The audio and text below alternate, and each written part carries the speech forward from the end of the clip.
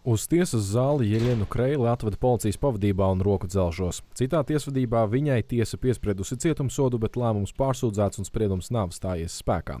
Šajā krimināllietā viņa apsūdzēta pēc krimināla likuma panta par genocīda noziegumu pret cilvēci, nozieguma pret mieru un kara noziegumu attaisnošanu.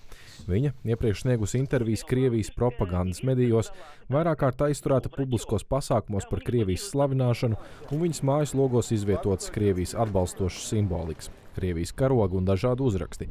Šodien Kreilas dzīvesbiedrs atteicās runāt par apsūdzībām. Latvijas runā tikai piedāvājot ābolus. Iepriekš jūs ar mums runājāt. Es jums teicu, ka es ar jums nerunāšu, tad nerunāšu. Jūs visi tādi latvieši esat. Nu, nevajag jūsu ābolu, paldies.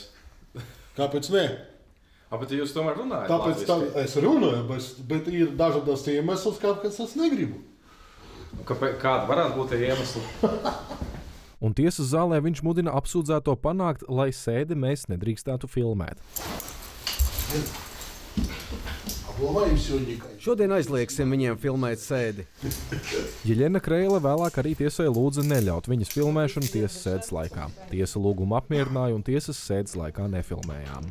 Vienmēr viņi, viņai nav bijuši nekādi iebildumi visās pārējās sēdēs. Nezinu, kas ir mainījies. Bet, ja viņi nevēlas, mums ir, kā tiesa teica, jārespektē viņas viedoklis.